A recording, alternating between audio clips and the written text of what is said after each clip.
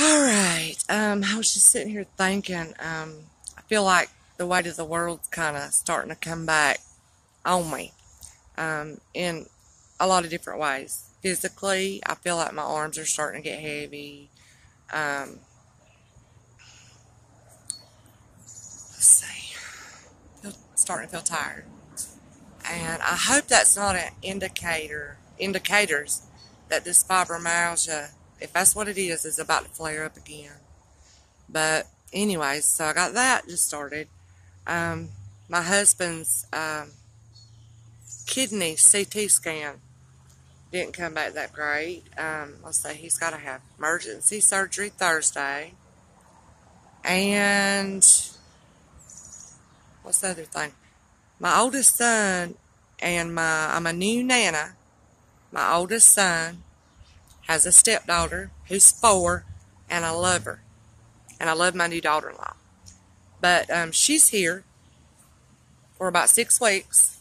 Um, I help Dylan watch her while he's gone to work and everything because Dylan's wife, Olivia, is in the Air Force and she's doing some job training and they won't be stationed and moved to their more of a permanent home until like September.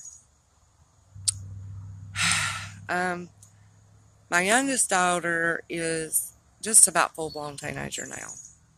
She turns 13 in October, and it's just, she's changing. Um, the looks she gives me. Uh, she don't want to spend as much time alone with me, you know, so going through those changes. Um, which I've been through it with two boys, but I've never went through it with a girl. And um, I didn't have a mom while I was a teenager growing up. So I have no idea what I'm doing on that. Anyway, so that, um, just trying to spend time with Emma, my little granddaughter. I felt the weight of the world, like I said. Felt like it was coming on me. And I thought, you know, um, hmm, I've already talked to the Lord about it and everything, but I thought, I was thinking, hmm, who can I call? You know, to encourage me. Um, though I know that the Lord's going to be with me in all of it, He will uphold me.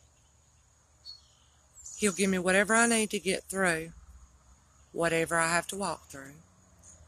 But I just was needing to be encouraged, so I thought, who can I call to encourage me? I tried to call one person, didn't get an answer. And then the thought came to me why don't you encourage yourself? And that is a scripture. I'm sure many people have heard it many times. And it's um it's okay. Um it's um David encouraged himself in the Lord. And so I thought about that and it's my journal. And uh that just I, that's never come to me the thought to encourage myself i've heard it said i have a real good friend that says, you know, talks about encouraging yourself in the Lord over the past few years, but it's the first time it's really hit me like that. So, encourage yourself in the Lord. Just thinking, what does that really mean? You'll have to look up the scripture. I can't remember where it was. You're fine. Come over here. Um, but anyway, I'm going to be looking into that, seeing what the Lord wants to teach me. So I just thought I would share that and uh, we'll see how that goes.